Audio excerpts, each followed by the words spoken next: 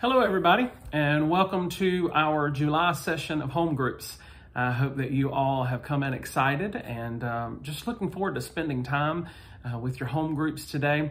We're over halfway through the season, the home group season, and uh, pretty soon we'll be into those cooler temperatures. Thank you, Jesus. And uh, I'm looking forward to that quite personally. But uh, I wanted to come to you today and uh, discuss with you the sermon that I preached this morning. Uh, now, this sermon's message was found in Matthew chapter 11, and I wanted to pull out uh, specific scripture again and go over that and, and, and really dig into that particular scripture. But before I do that, let me tell you a little story. Uh, some of you that have been to our home in the past couple of years, uh, you know that we have two cats and uh, both of them can be quite a handful at times. You know, cats kind of have a mind of their own. Uh, they want what they want when they want it, and um, they don't really care who knows it. They're going to do what they need to do to get what they want. Well, we have our older cat. His name is Max, and um, he loves wet cat food. You know, the stuff that comes out of the can. And um, ever so often, if we're not feeding him fast enough, he will literally come and get in our face. Uh, as a matter of fact, I have seen him in an attempt to get uh, Jennifer's attention. He will actually come over and headbutt her and then kind of lay down, plop down behind her on the couch or something like, hello, I'm still here. Where's my food? Uh, he's a bit of a trip. We love him, but you know, they can be a handful at times. But uh, recently, I happened to be at the house uh, by myself one day and uh, I had decided I was going to take a nap. I had a few extra minutes and I was going to do so. Jesus took naps, so it was okay for me to take naps too. So I got in my recliner, I cut the ceiling fan on, the air conditioning had already been set, got me a blanket, cuddled up on my recliner to take a nice little nap. Well, I had almost drifted off, and then Max decided that he was ready to be fed. And I thought, mm, no, I'm not, I'm sorry, I'm not doing that. I'm starting to fall into that groggy sleep state and I'm not getting up just to feed you a can of food. You can wait. I'll feed you later. This is what I'm thinking. He climbed up and he kind of got into my face and he was probably, I don't know, maybe eight, nine inches from my face. And he just kind of sat down on my stomach. Well, normally I would have shoved him off, but I thought this time, well, I'll just kind of move around a little bit and he'll get off, uh, which is his norm. You know, once he thinks you're getting up, he takes off. So uh, he sat down right there. I mean, just like I said, about nine inches from my face, and it was quite hilarious. So I kind of uh, moved myself and jiggled myself a little bit and kind of took my hands under the blanket and I kind of popped and tried to get him off. He was not to be deterred. So I thought, okay, well, you can sit there a few minutes. Well, a few minutes turned into about an hour and a half. I fell off to sleep and I forgot that he was there. Now, admittedly, when he first laid down on my stomach, I thought, okay, Joker, you don't need to eat because you're getting kind of heavy. Um, well, as I was laying, or not laying there, but as I was sitting in my recliner sleeping, um, and I woke up, at one point, I had went to move because my back was hurting me a little bit, and he had jumped off of my stomach area. And I was completely oblivious to what was going on. I, I forgot he was there. Um, he had laid his little chunky self on me, and he had laid on me for so long that his weight had become something that I had become accustomed to. And um, I was struck with a thought in that moment. How many times do we catch ourselves walking through life carrying things and we just get accustomed to carrying those things.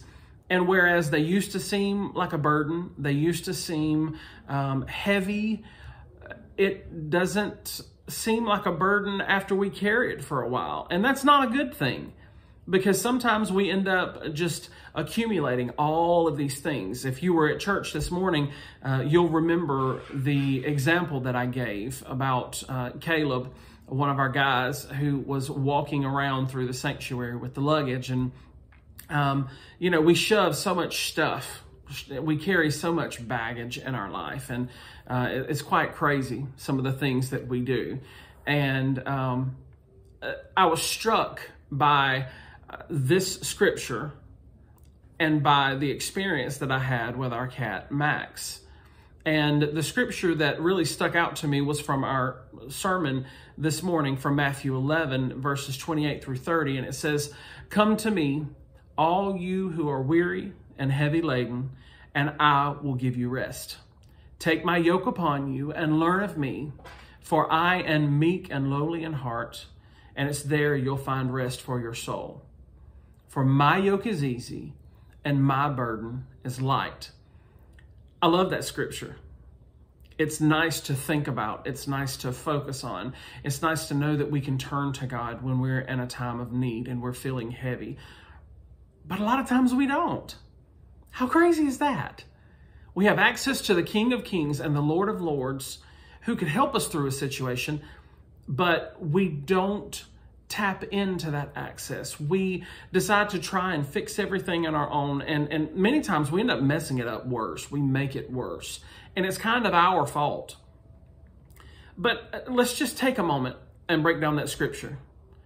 Matthew 11, starting in verse 28, it says, Come to me. Stop right there man, that right there is just a sermon on its own. Come to me. Jesus is telling these new believers, come to me. Don't turn to anybody else. Don't turn to the religious leaders. Don't turn to your family, your best friend, the person you complain to the most.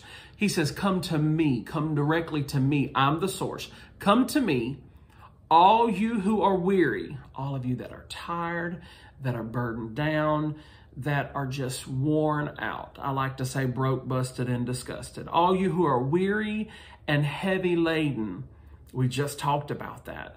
Sometimes the things that we are going through, sometimes the things that we carry, they feel heavy. They feel like a burden. Come to me, all you who are weary and heavy laden, and I will give you rest. This is Jesus talking to these younger believers.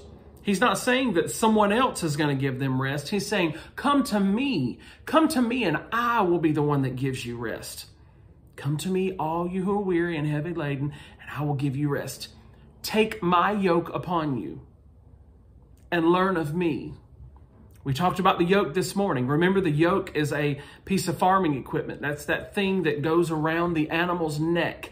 And it's not, it's not normally just a one person thing. It's, it's, it's a two animal kind of thing where it goes around the animal's neck and there's a large piece of wood that goes out and you connect the two animals together and those beasts are plowing the field. Those beasts are working together to accomplish a work. Jesus is inviting us into his yoke. And let me be straight with you. I'll come into a yoke with Jesus any day. Why? Because he's bigger than I am. Because he's stronger than I am. Doesn't mean by still being a part of that yoke that I'm not maybe going to feel a little bit of pressure, that I'm not maybe going to feel a little bit of the heaviness that comes. Even when we go to the Lord in prayer, we can't expect things to just poof, be gone. It doesn't happen that way. But when we come into the yoke with Him, we're coming into agreement with Him. We're coming into agreement with His will for our life. Come to me, all you who are weary and heavy laden, and I will give you rest. Take my yoke, Jesus is talking to us, take my yoke upon you. He's going to help us carry that burden and learn of me. You don't have to turn to books. You don't have to turn to self help. You don't have to turn to anyone. Just turn to Him. He says, Learn of me.